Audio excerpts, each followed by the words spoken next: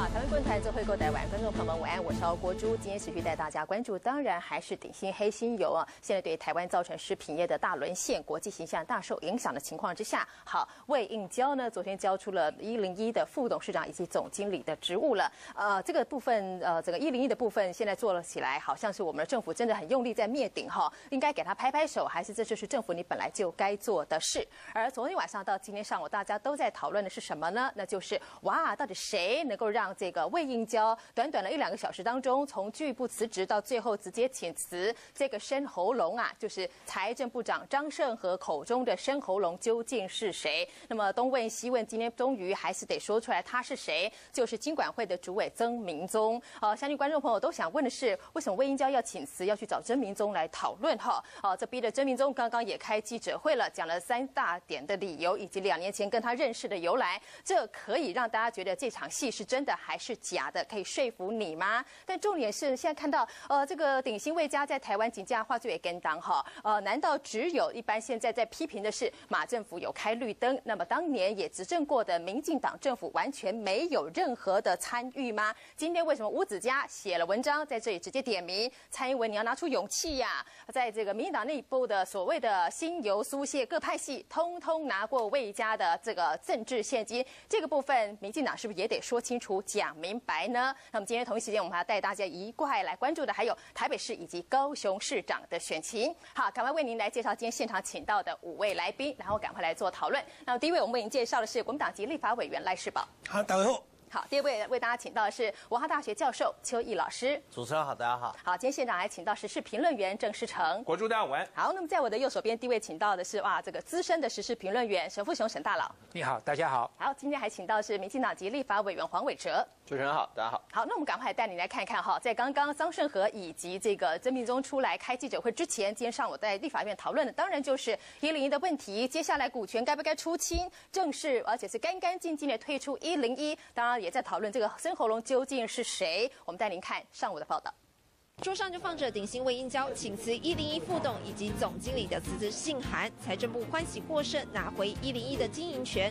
不过就在二十八号中午，一零一发言人还表示，魏英交在会议上并无自动辞退。没想到下午两点，魏英交就正式向董事长宋文琪提出辞函，并且即刻生效。短短两个小时，转折之大，外传魏英交曾经透过深喉咙致电张盛和，这才逆转情势。也没什么生喉咙，也没什么神秘。就是很稀松平常。我的朋友告诉我说，有一个朋友呀，对，说魏家可能会打魏先生。那个朋友是企业界还是政府？没有，就是我们同事朋友。同事就是官方的。对对。张胜和连连否认。不过据了解，二十八号中午，这名生喉龙曾经致电张胜和，告知他魏英娇将会打电话给他。当时张胜和已经隐约猜到，可能是魏英娇要谈台北一零一的经营权。他随即告知对方，请魏直接联系武当杰。其实据我的了解，他只是没有在及时在会上提出来了。其实他大概内心早就有动了。如今财政部将主导一零一尽快开临时董事会，确认宋文琪董事长兼总经理的职务。不过鼎新贵家仍然持有百分之三十七的股权，魏一娇仍旧掌握一零一五席董事。对此，财政部也呼吁鼎新出清股权，退出一零一。能够呼吁他主主动出清了，我是建议他能够像一些包括比尔盖茨啦、巴菲特啦，能够捐出来做公益，这样好留得好名声了。这仗公股逼退成功，底薪未移交退出台北一零一的经营权，重回财政部手中。下一步还要鼎新交出股权，退出董事会，维护台湾地标一零一形象。记者林心野、刘亮跟台北采访报道。好，那么这是在这个所谓生喉咙究竟是谁之前，在早上在立法院的讨论。好，我首先请教的赖世宝委员，今天上午也做了质询，今天也来到我们的节目。那么现在知道所谓的这个生喉咙，就是呃经管会的主委曾明忠。呃，我刚才问到，相信很多观众朋友都要知道，也想了解，呃，这个魏应交要不要辞掉一零一的副董事长兼总经理？他为什么要去问曾明忠？按照张胜的讲法是，他说他其实他们已经决定了，就是在前天晚上已经决定要辞了。嗯哼，那一天等于他有一个软调，一个硬调。硬调就是早上的在董事会，对，就代表说啊，我没有对不对不起台湾，我的油我父母都在吃，啊，这里面来讲呢，都都都讲完了。对，然后呢，下午其实他准备辞了，但是呢，我认为他心里有盘算。哦，为什么打给郑明忠？对，这里面有一个很重要的原因是什么？曾明忠的讲法是说，当初决定让魏家跟关谷官民共治的那个决策者两个人，一个叫张胜和财政部长，一个叫曾明忠，那时候是财政部次长。他跟我讲，这曾明忠亲口跟我说，他说这是这样的原因，所以他打给他。我认为可能再加一个原因，为什么？因为他现在是金管会主委，是啊。他主动示好。年前好你走，人情让你做，等于说你看早上我是不辞的，嗯，下午呢，我们的曾长官一番的道德劝说，嗯，我认了，辞了，整个功劳通通是曾主委的，那以后抽银根那部分呢，对，是不是可以手下留情呢？哎，这一部分当然没有讲，而且曾主委亲口说没有任何的条件，只不过我不了解为什么张部长把这么重要的讯息。把它讲出来呢，他是大嘴巴这个东西啊。嗯，张大部长，我一直觉得他很沉稳的，怎么？是。大概我心里想啊，哈，他可能太嗨了。原来认为，原来认为早上啊，看起来魏家这么强硬，对不对？突然来送一个大礼给他，虽然你刚刚讲说，哎，这个不一定讲胜利哦，他本来就该做的。是。不，不是哦。嗯，他们的版本原来没有想这么快哦，原来想什么？对，原来想说按照 SOP 来讲，最快两个礼拜临时董事会才能够把它换掉。这个时候没办法，现在是酝酿、酝酿、酝酿。他当然今天在立法院的时候就讲的很客气的啊，这个都归功于立委啦，哇，执行的时候很凶了，不分党派很凶，给我力量。他是讲类似这样的话。嗯，其实其实我认为他讲的某部分是正确的。是，魏家准备要下庄了。是，但是呢，他走之前。要下来之前，做个人情给曾明忠，希望这个是一切是不在什么。言语了哈，是好，呃，然后希望他对这个希望他以后手下留情。接下来追杀到底会不会出现不晓得哈。那对于魏家来讲，是不是也很清楚？这回政府到底是不是真的来真的哈？我们带大家来看到哈，那这个昨天魏家其实到底是不是像呃刚呃这个委员讲到，早就盘算要辞了哈，只是到底什么 timing 辞，跟谁来辞呢？达到最好的止血效果，甚至能够再加点分回来哈，这是魏家的盘算。原来呢，在这边呃昨天这个临时的董事会召开之前来看到呃这个不能做的第一个查税的动作已经出来了。张振和说呢，黑心商人赚的钱怎么可能会认真的来缴税？加强查税是财政部的职责，此话是真。但是平常你有没有在查？啊，平常没有在查，现在出黑心了才要来好好的查，他是这样子吗？好，再来要查资金。上个礼拜五的财政部就出手说呢，要清查鼎新在各大行库的贷款的状况。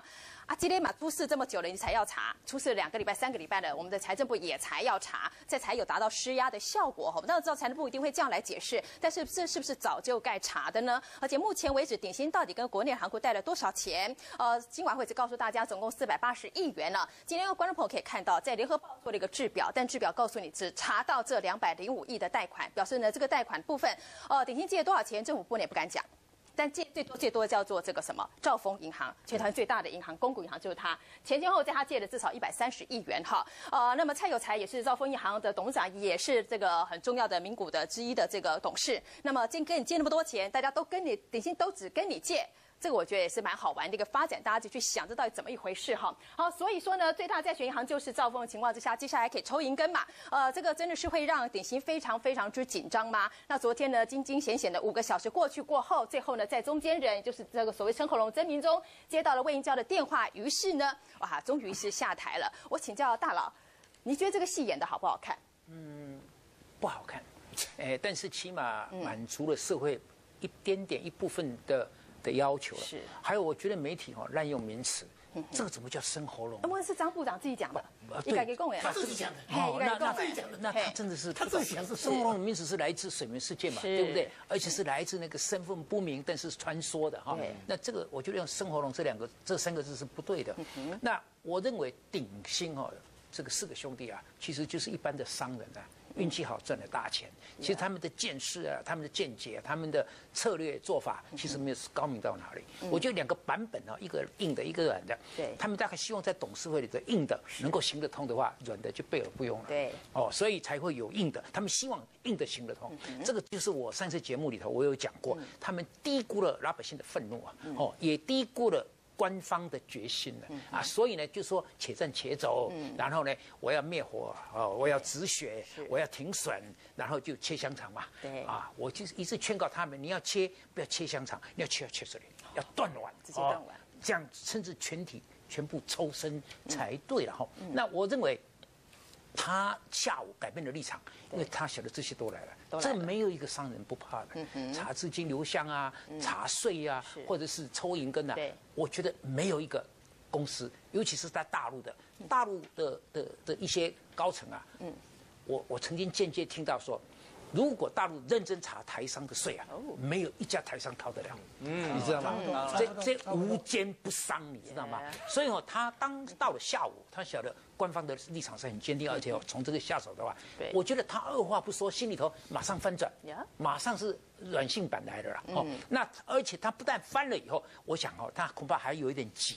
嗯，他根本有一点急，他就说：“我既然决定这样的话，我希望官方马上得到这个讯息，马上做相对的决定。”所以他去告诉曾明忠吼，对，赖世宝说是要做个人情，我认为这个没有什么人情。那我觉得曾明忠由这件事情来，也不会就这样会在这个经管方面啊，或查查账方面有任何的松手。我认为他们如果认为由你打个电话，我就可以得到好处，那就是又犯了错误了，又是误判的。但是我我我我我的猜了哈。就说当天下午，既然他们希已经答应走这条路的话，对，他们其实蛮急的，他们希望部长哦赶快知道，而且也怕如果哎我都可以直接打电话给部长啊，所以何况他们呢，对不对？所以他们如果要直接，哎，他们如果直接要打接，哎要打电话给部长哦，其实不难，但是他们怕的是部长是谁啊？啊是姓魏的，不要接。他们怕的是这个，哎，对，所以他怕的是这个，所以要有一个第三者去去转一下哈，所以所以他们心里紧张的，就是说，甚至怕下午来不及了，恐怕此路不通的，那就后果严重了，所以他们要确认这条路是通的，既然决定了就要通，我觉得这个整个过程是这个样子的。那鼎新现在应该要了解，我们是要依法行政呢，我们是要公司治理呢，还是我们要？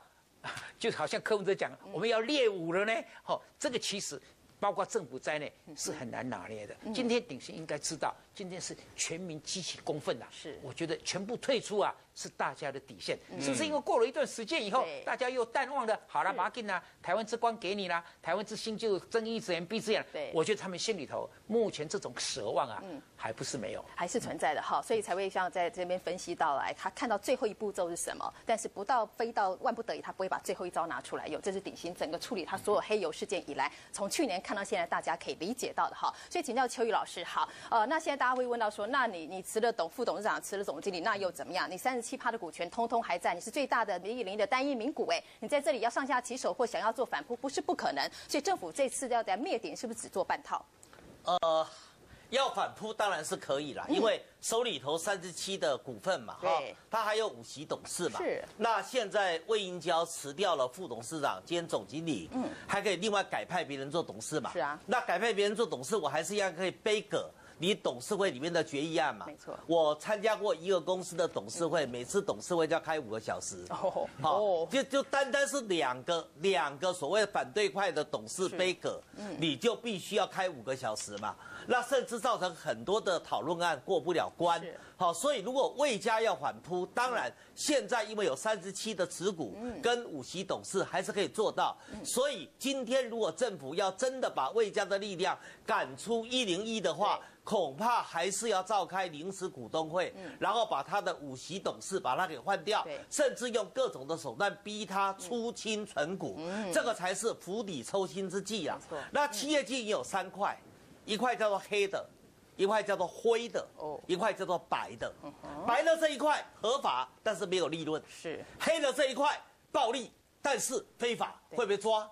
那所以一般都在灰色地带讨生活，在灰色地带讨生活呢，他才能得到超额利润。那灰色这一块最怕什么？政府如果睁只眼闭只眼你灰色地带就 OK 就过关，所以才会有一句话叫做“人无横财不富，马无夜料不肥”，就是这个意思。嗯，那你今天这个灰色的地带，若我政府要办理的话，那我政府就可以查啦。那政府。从这个事件就看出来，政府要对付黑心厂商，绝对有工具，绝对有筹码。嗯，只要你愿意做，第一个，当然怕查税啊。哪一个厂商在灰色地带被查的话，真的努力去查的话，过得了关的，我相信一家都没有。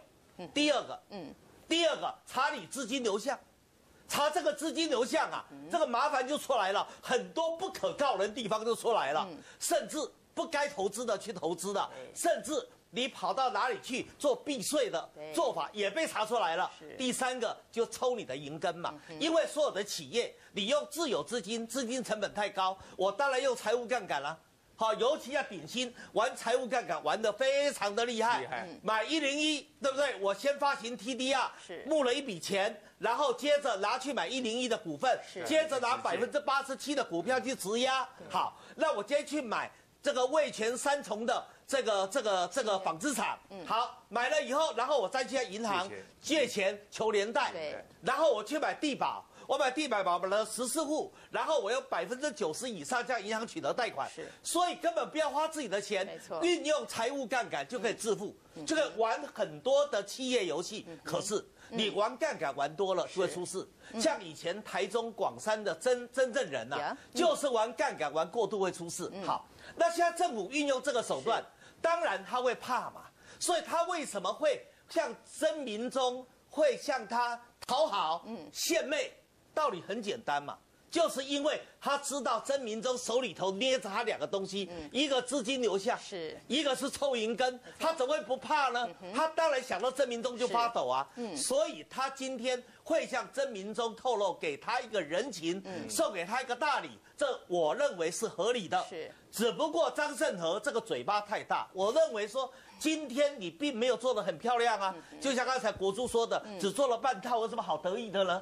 这时候还会嘴巴那么大，竟然把这生喉咙的名词都乱套，是。那我觉得是非常美中不足的地嗯，方。好，呃，因为昨天这个生喉咙的新闻是来自于中央社的报道，而且中央社的报道完全没有挂记者的名字。其实看到这报道的时候，我们压抑，然后谁谁谁谁写的，哎，不是任何一个电子报出来的最新消息，叫中央社，而且没有挂名，呃，这一看就知道一定有人在放消息出来，啊、所以可以看出来，昨天我们政府部门是不是非常开心，非常开心，天上掉下来礼物，魏应江自己要辞了，还不用我两周之内开开这个临时的股东会，我临时的董事会把你给赶下来哈。那么在这里会不会高兴的太早？我请教呃黄委员，王委员您长期在财财委会或经委会这里哈，呃，那这个政府有什么好高兴的吗？我觉得政府倒没有什么好高兴的。其实昨天中央社那个报报道来讲，是是有人急于邀功。哦，我们就是真的是政府做了多少事，让你那个兵不血刃，杯酒释兵权。过去不是这样子吗？说宋宋太祖不是冰酒杯酒释兵权，把那个大将。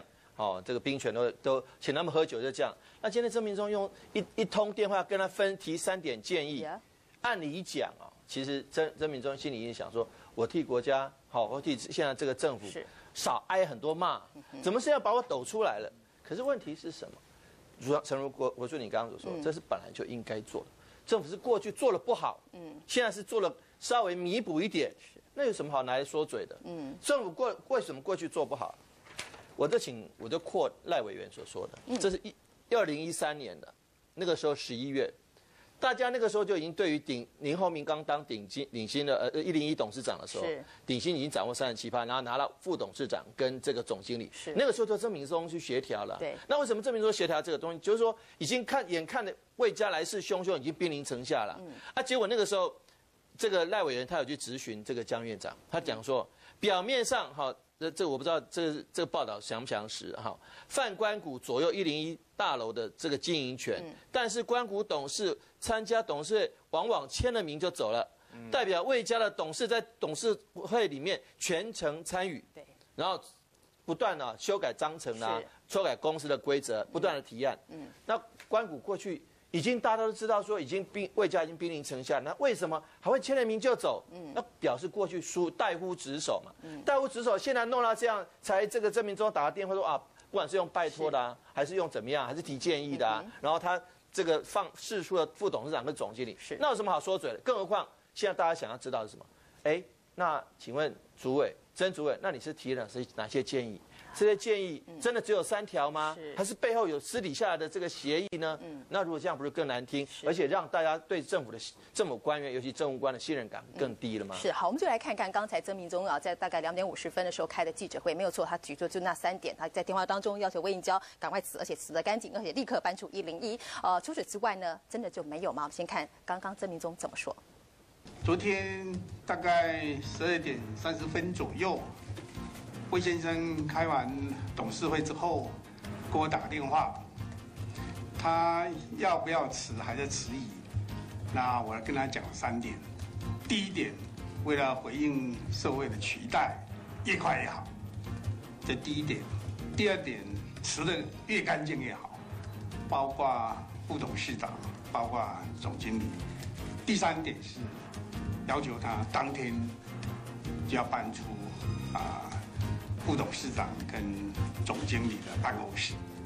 那我跟他啊给他三点的。讲法之后，他有一度有迟疑，那我原来有在跟他分析现行的情况，啊，因为啊目前的社会的期待，啊希望能够充分体认，那过了啊短暂的时间，他有啊有初步赞成他啊我的想法。好，当然，曾明忠在这场记者会上也特别强调，没有任何的交换条件，就这三点。那显然是迟疑了一下，就魏英娇还是听了他的话，于是做了请辞的动作。但是我在今天立刻搬出办公室后，呃，我还没有去查证了哈啊。但是我们要看到是这个事情，刚才黄委员讲到了哈，在这过程当中，为什么关谷不好好的在这里尽你该尽的董事的责任？所以让这这个魏家在这里能够不断修改章程，他叫总经理，我们的关谷都还官方都还说他叫总副董兼总经理，他对外都说我是副董事长兼 CEO。好，CEO、CEO、执行长，哦，就说这个在大陆才听起来比较好听哈。这也是改来改去之后，他变成所谓的执行长。好，那接下来我还要请世成带大家看，重点是他没有把董事长宋文琪放在眼里。好，宋文琪这一阵子接了关谷董事长之后，其实这个日子非常非常之难过，是，一直到昨天终于才出了一口气。对，在董事会一开始把他给骂了一顿，致命四级。对，致命四级才终于。那接下来就是由宋文琪来先暂时兼任总经理三个月，然后接下来再来推派官方推派的所谓的正式的总经理出来。哈，对。呃，昨天讲的这些话，魏英娇当时啊还在告诉大家，所有的关关关民股董事一零一跟有什么关系？他不想退。你知道那天我我讲的故事。那天宋文琪参加我一个好朋友的这个竞选总部成立大会啊，就是这个，然后呢，他上台之后，这位市议员候选人就是那个呃，算了，不要讲了，他就说呢，是对不起，宋文琪是关谷代表，嗯，大家不要忘了他是关谷代表，为什么？因为你知道吗？开个玩笑，就是一零一宋文琪嗯。接了董事长之后，大家不知道董事长是谁，就不见了。以前陈敏勋当董事长之后。大家不知道一零一总经理是谁？没错。啊，宋文琪说奇怪了，为什么我当了这个董事董事长，没有人知道我是谁？他就问那个魏应娇说：“阿爸，你把董事长拿去，还会比照办理吗？还是说以后就是董事长制？”所以我们的关谷，我们的关谷四十四点三五，对，这个魏家只有三十七点一七。为什么的关谷这么弱势？所以宋文琪非常的。非常的无奈，是，所以大家怀疑说，阿里喜欢诺奈公，我们关谷必然他贼，啊，为什么会这样下场？对，所以昨天的交手，你看，魏英交说哈，一零一跟油有啥关系？真心爱台湾是来回馈台湾的，我们的油呢可以奉给父母吃，夫妻尚且有事不知道，何况兄弟？我天嘞，啊，我我跟你讲啦，这里面从头到尾都在鬼扯，嗯嗯。回来，我们的油可以奉给父母吃。你俩我家我逃到口里当球踢。我们不要说他是不是像外传的吃了所谓冷压橄榄油几几个呃一瓶一千多，我不晓得。但是铁定你不敢你们吃吃你们家的油。一零一跟有什么关系？没有关系。嗯。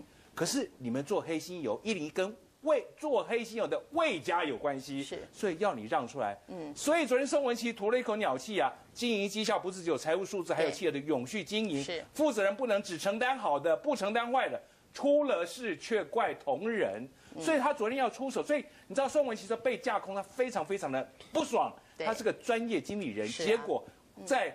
关谷占大多数的一零一却是被架空，嗯，所以我觉得他除了自己出一口鸟气，也帮我们台湾出了一个鸟气。但最重要，我要想是。